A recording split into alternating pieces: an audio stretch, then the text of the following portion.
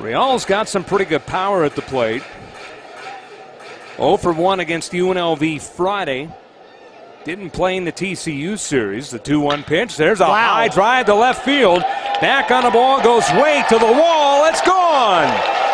Right on cue. Alex Real with a home run. It's a two run shot. The Lobos cut the lead in half. It is New Mexico State 4 and New Mexico 2. Ball up. Took a few steps to his, his left in order to get the, change the angle where the throw was coming. There's a high drive by Nunez to left and deep. If it's fair, it's going to be gone. It is a fair ball. Home run. I'm leaving. Chris Nunez hits a home run as he just skyrocketed that ball in the air and he kept it inside the foul pole down the left field line. And Nunez with his first home run his seventh RBI, make that his eighth RBI, and the Lobos within a run. It's four to three. So now it's runners at first and second with two gone here in the fifth, and Ryan Padilla, who's 0 for 2 at the plate. Padilla struck out his last time up. Back out of the stretch. He deals to the plate. Padilla drills at the right. Back goes Carriker to the track. It's off the wall.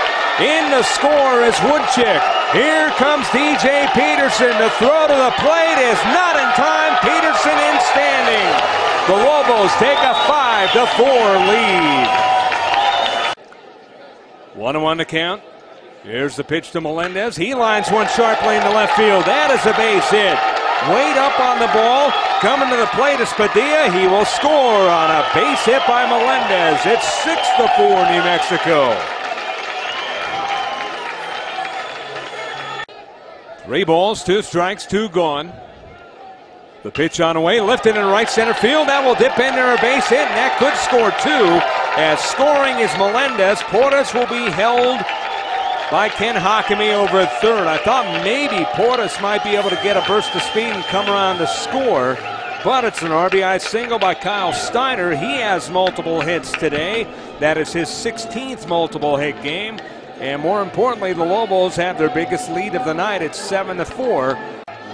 In the inning, Nunez aboard on an air on the third baseman LeCount. Garver popped out the second. Woodchick aboard on a throwing air by the pitcher Kaufman to make it second and third. Peterson the line out. A great play by LeCount and an intentional walk to Padilla.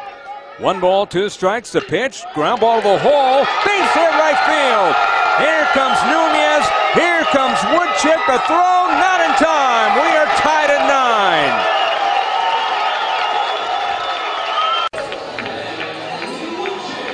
Ben Woodchick, the batter.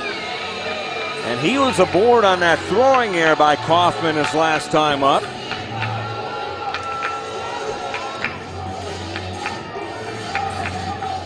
Woodchick hitless here on the night. 0 for 4 officially with a walk. Runners at first and third. Nelson at first. Baca down the line at third. Kaufman deals. Swinging a line drive. That's going to dunk in there. It's a base hit to tie the game. And holding at second base is Nelson. Ben Woodchick with his first hit of the ball game comes up clutch 23rd RBI. We're knotted up at 10. Nobody out. Bottom of the 11th of a 10 10 tie. Lobos and New Mexico State. Here's the pitch, and Garver lines it down the left field line. That's going to be trouble. That's going to be gone. The Lobos win.